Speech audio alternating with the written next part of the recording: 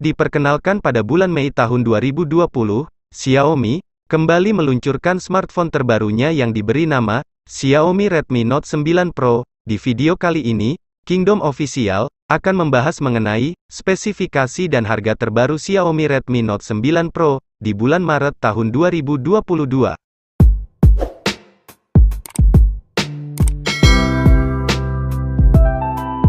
Pada bagian layar, Redmi Note 9 Pro hadir dengan menggunakan layar bertipe IPS LCD Full HD+. Smartphone ini memiliki ukuran layar seluas 6,67 inci dengan resolusi 1080 x 2400 pixels serta sudah dilindungi oleh layar pelindung Corning Gorilla Glass 5.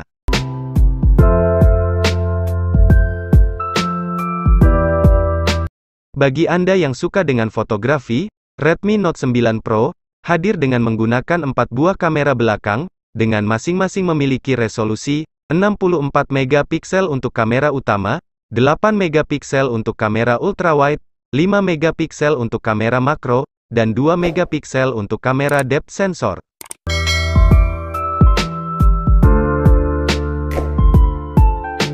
Sementara itu, untuk kamera depannya tersendiri, Redmi Note 9 Pro, Menggunakan kamera depan dengan resolusi 16 megapiksel, untuk kebutuhan foto selfie Anda.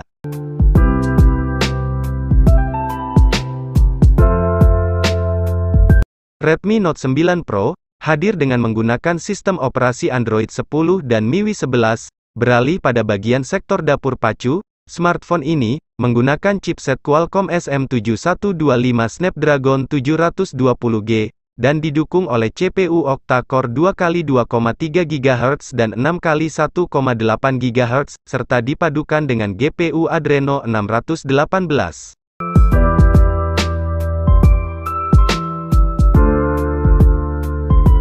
Redmi Note 9 Pro, sudah tersedia fitur NFC, untuk menunjang kinerja dari smartphone ini, Redmi Note 9 Pro, dibekali oleh baterai yang berkapasitas sangat besar, yakni LiPo 5020 mAh non-removable, serta sudah mendukung fitur pengisian cepat fast charging 30W.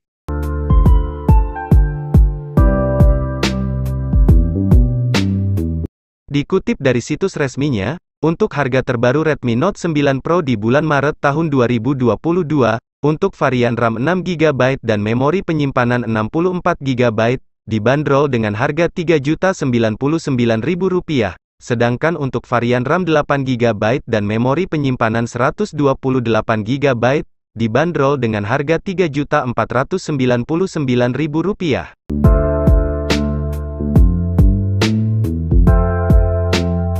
Sekian pembahasan mengenai spesifikasi dan harga terbaru Xiaomi Redmi Note 9 Pro di awal bulan Maret tahun 2022. Jangan lupa dukung channel ini dengan cara subscribe, dan tekan juga tombol loncengnya agar kalian tidak ketinggalan video terbaru dari channel ini. Terima kasih.